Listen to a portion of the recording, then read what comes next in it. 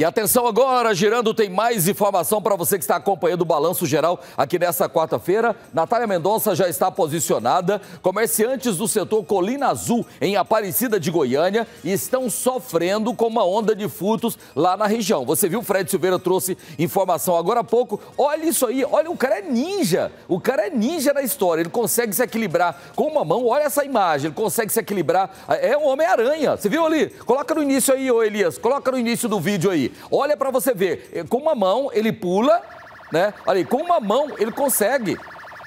Você consegue isso aí, olha aí. Você vai fazer uma barra lá na academia, meu amigo, com as duas mãos você não consegue levantar, o camarada com uma mão só ele consegue. E a Natália vai trazer as informações. Natália é quase que um Homem-Aranha o que a gente tá vendo esses caras entrando nos comércios. Muito boa tarde para você. Oi, Eloares, boa tarde para você, para quem tá em casa. Quando é para fazer coisa errada, meu irmão, eles arrumam força, sabe-se lá de onde. Porque se fosse para trabalhar, para pegar no pesado, com certeza tava fazendo corpo mole. Isso aí aconteceu num supermercado que fica aqui no setor Colina Azul, região de Aparecida de Goiânia. Você disse bem, muitos comerciantes por aqui estão preocupados. Por um lado, eles até elogiam o trabalho da Polícia Militar, dizem que as viaturas passam por aqui com frequência, mas os bandidos estão aproveitando é o período da noite, viu? Você vê aí nesse vídeo que tá de noite o momento em que ele escala uma estrutura de ferro, consegue entrar no supermercado e traz muito prejuízo. Um outro assalto, uma outra situação aconteceu bem aqui onde estou, na Avenida Flamingo, que também fica aqui no setor Colina Azul. E só um detalhe, logo ali atrás ó, tem um colégio, um colégio estadual da Polícia Militar. Algumas viaturas costumam ficar por aqui também, mas nem isso está inibindo os bandidos. Aliás, inibe até durante o dia, mas é à noite que eles estão agindo. Eu vou chegar aqui mais pertinho de um estúdio que trabalha com micropigmentação de lábios, de sobrancelha. A dona é a Daiane que está aqui comigo. Você disse que está aqui há quanto tempo? Boa tarde. Sete, sete anos. Sete anos. Você já tinha passado por isso? Nunca, nunca. E isso é o que eu vou pedir pro, pro pessoal colocar aí agora, inclusive com áudio, que a gente escuta a Daiane chorando. Vamos colocar. Tudo.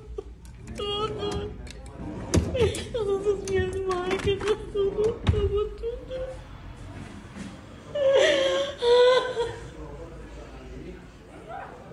Deus vai te dar 100 vezes mais.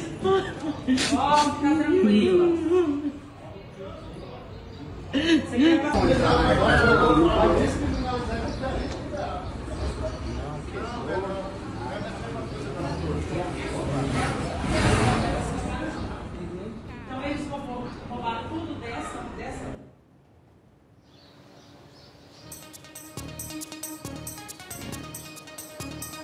Bom, agora voltou aqui pra gente, Daiane, eu estava dizendo aqui, você está com o olho cheio da água porque fica emocionada mesmo diante disso.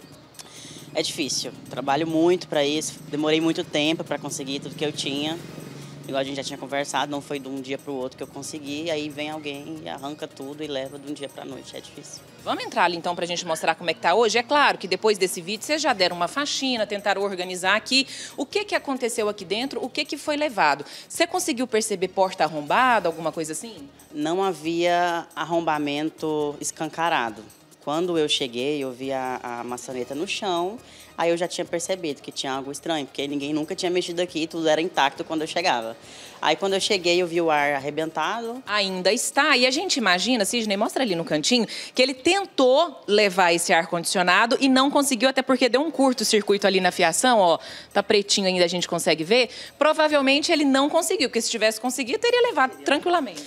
Levaram a TV, levaram todos os nossos materiais de serviço, não sobrou nenhuma pinça para trabalhar. A televisão ficava aqui nessa parede, do lado de cá, Sidney. A gente vê que tem ali o suporte da televisão, mas ela mesma foi embora. Televisão, TV box, dermógrafos, tinturas, todos os materiais das minhas parceiras de trabalho, porque aqui trabalha eu e a Daniela e a Jéssica, roubaram tudo e não tem nada realmente para a gente trabalhar, nada. Nem aparelhos, para quem entende, que vocês usam para fazer essa tintura na sobrancelha, né? Que é a micropigmentação nos lábios também. Isso, fazer unha, micropigmentação. Levaram as nossas quatro LEDs que a gente precisa para trabalhar, cafeteira, tudo, todo o nosso estoque de serviço. Agora, o que você estava me dizendo que chama a atenção é que durante o dia há policiamento, a polícia passa aqui até por causa do colégio, mas é de noite que eles estão agindo. A todo momento. Toda vez, eu, toda, hora que eu olho para a rua tem uma polícia passando.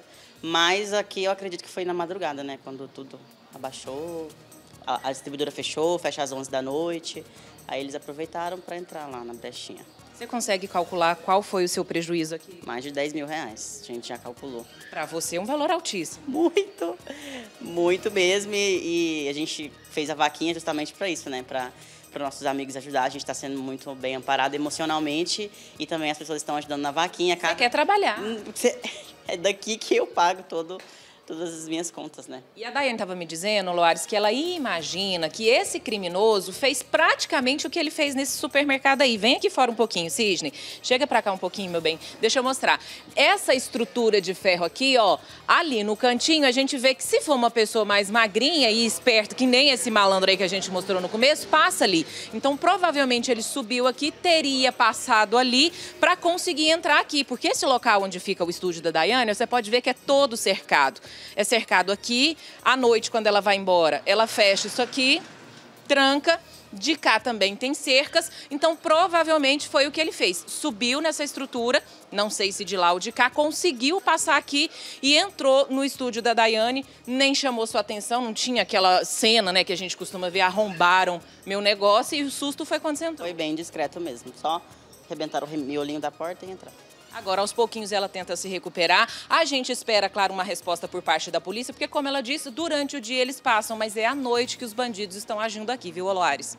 É complicado, né? Mostra mais uma vez a imagem do bandido entrando aí, que talvez alguém possa reconhecer, né? Olha, talvez alguém possa reconhecer, mas com certeza deve ser mais um usuário de drogas desses verdadeiros zumbis que estão espalhados pelas ruas de Goiânia, Aparecida, aqui na região metropolitana. Olha aí, gente, infelizmente o um prejuízo muito grande que a sociedade vem tendo, o comerciante está tendo aí com esses ladrões. E o pior de tudo, né? Eu, tô preparando uma reportagem que talvez deve ir essa semana ainda, mostrando justamente justamente isso. O comerciante, ele está passando por uma situação difícil, porque às vezes rouba ali um shampoo, uma peça qualquer ali. Se ele for à delegacia, vai ficar duas, três, quatro horas aguardando para registrar uma ocorrência. Não vai dar em nada, porque as autoridades não vão se interessar. Ou seja, ele prefere ficar no prejuízo até que pegar uma fila numa delegacia para registrar a ocorrência. Há 30 anos, quando eu comecei no jornalismo aqui em Goiânia, tinham sete, oito centrais de flagrantes aqui em Goiás. Hoje tem uma uma aqui em Goiânia, uma central de flagrante. Eu lembro que tinha o sétimo distrito no setor é, é, Jardim América, tinha o oitavo distrito do setor Pedro, tinha lá o da Vila Pedroso, tinha o do centro, tinha o do, da Urias Magalhães, eram sete, sete ou oito centrais de flagrantes que tinham aqui em Goiânia. Hoje, tanto tempo depois, o aumento da criminalidade tem uma, uma central Amém. de flagrante que faz até fila de viatura e equipes lá para entregar preso e registrar ocorrência. Obrigado, Natália.